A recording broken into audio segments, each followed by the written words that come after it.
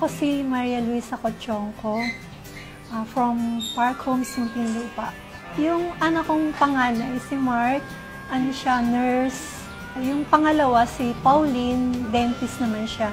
Siya yung nag- nag-introduce sa akin dito sa Long Beach.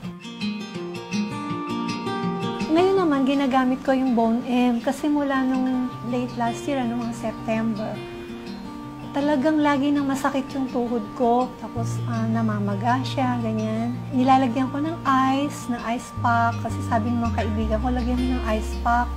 Nag-try din ako na maglagay nung knee pad na may magnet. Pero ano, hindi siya hindi siya nag improve Every after ng game, talagang masakit.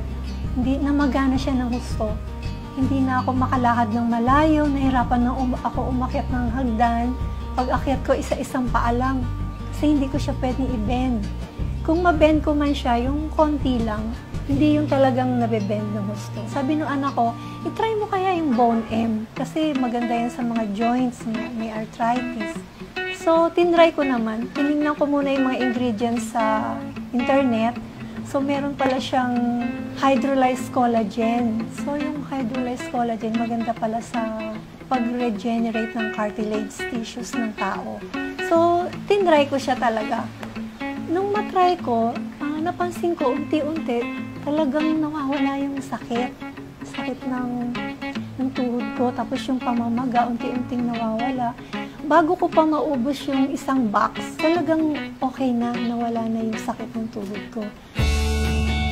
Wala na akong complaint na naririnig sa end of the day. Lalo na sa gabi, masakit na masakit yung tuhod niya.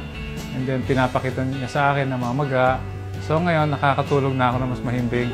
Same time, pag naglalakad kami sa mall, hindi na siya nagko-complain na sumasakit yung tuhod. Ngayon, kahit lumakad kami ng lumakad, wala nang problema, wala nang complaint ako naririnig. Tinitake ko siya every morning, uh, before meals, before ng breakfast, tinitake ko siya. So, nung nakainom ako, after 10 days, nakakapaglaro na ulit ako ng badminton. So, tuwang-tuwa ako sa Bone M. Talagang nire-recommend ko to sa mga friends ko. Pag sinabi ko, oh, sakit yung tuhod ko.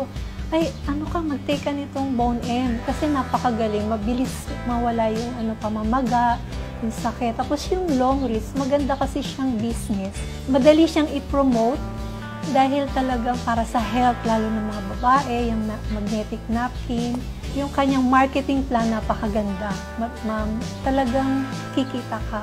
So, kung gusto mo ng business, ito pinakamaganda, long reach.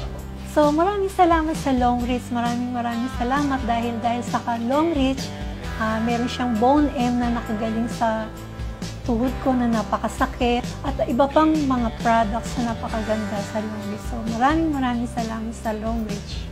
Sa Long Reach, may better life and better future. Maraming salamat sa Long Reach.